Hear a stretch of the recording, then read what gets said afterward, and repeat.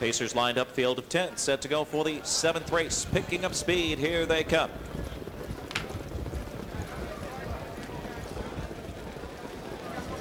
And they're off. The two Trader Raider made a skip just before the start, spots the field some seven lengths. Play with a full deck from the inside and Daisy's Boy on the rail. And play with a full deck for Stephen Smith to the top. Daisy's Boy second. And flight plan paces third as they settle in early in this one. Ferrari is fourth as they march to the quarter. Starfleet's Fury is fifth with Arc Place Racing sixth. It's category five in the seventh spot. Then it's two lengths to Bub on the run. Sensational N and Trader Raider is trailing trying to catch the field after a tardy beginning 27 and 2 single file here down the backstretch play with a full deck 18 to 1 long shot Daisy's boy in the second spot flight plan is third Ferrari is fourth Edging out Starfleet's Fury is fifth. Arc places six towards the half. Category five is seventh. Then it's Bub on the run. Sensational in. and Trader Raider is gapped at the back. 55 and four for the half. Play with a full deck. Looking to go all the way with Steven Smith. Daisy's boy, the pocket trip. The first over now. Starfleet's Fury takes a shot with Dubé. Flight plan stayed in is fourth. Up with cover now. Arc play sets it up from fifth. Second over. Ferrari shuffled to six now and locked in.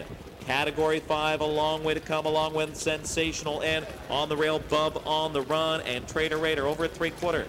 Play with a full deck. Three quarters, 124 and two. Some pretty good rating here by Stephen Smith. We'll see if it pays off. It's play with a full deck, trying to turn away the pocket sitter, Daisy's boy. And Jack Moiseyev on the outside, going to work. Play with a full deck. Daisy's the outside, ducking to the inside. Flight plan was locked in. Now surges up the cone.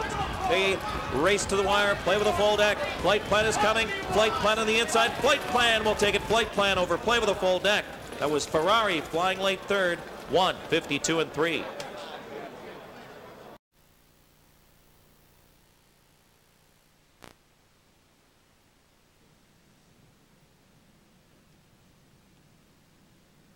Number four, Flight Plan, five-year-old black horse by Western Hanover out of En Route by Flying Brett, owned by the Brittany Farms and Valdor Farms.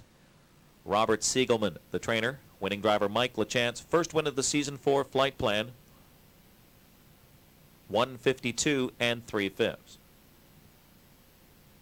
It's official. The four flight plan pays eight dollars, four eighty and four dollars. A Dave Brower selection. Three, play with a full deck, 1720 and 980. The five, Ferrari pays 480. The exacta 4-3, $103. 435 trifecta pays $1,080.40. Post time for race 8 in 16 minutes at 9.52.